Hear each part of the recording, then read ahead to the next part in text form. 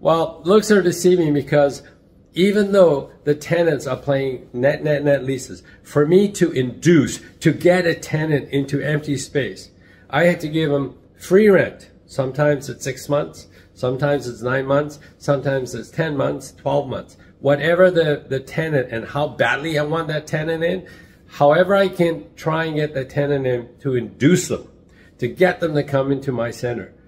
It's a cost to me. So all those months that he's in there, he's not paying me any rent. He's paying me, he's paying the overheads, which is a good thing for me, so that it's not coming out of my pocket. Okay, so that's one thing. The second thing is, Mr. Tenant will say, hey, listen, uh, okay, I'm paying you the 20 bucks, I'm paying you an additional rent, you're giving me 10 months free rent. Uh, by the way, for me to move in the space, I need another $20 of uh, money that I want you to give me so I can fix up the space. So then the, the landlord goes in his pocket, takes out the money, and gives it to the tenant.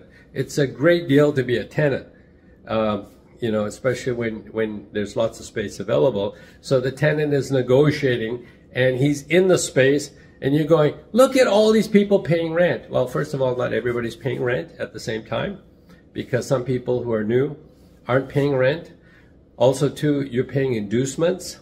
In other words, you're giving them 20 bucks a foot to move in. So, so you may not see that money back from the tenant for two years, sometimes three years. So when you go into mall and say, oh, look at these guys, they're all doing so well, full of tenancies, that, that may not be true at all. So when you get into real estate and you understand the game of retail or office leasing or any kind of leasing, that should give you a hint.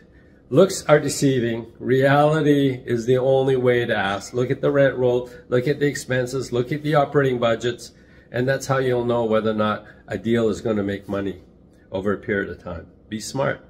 Do your due diligence.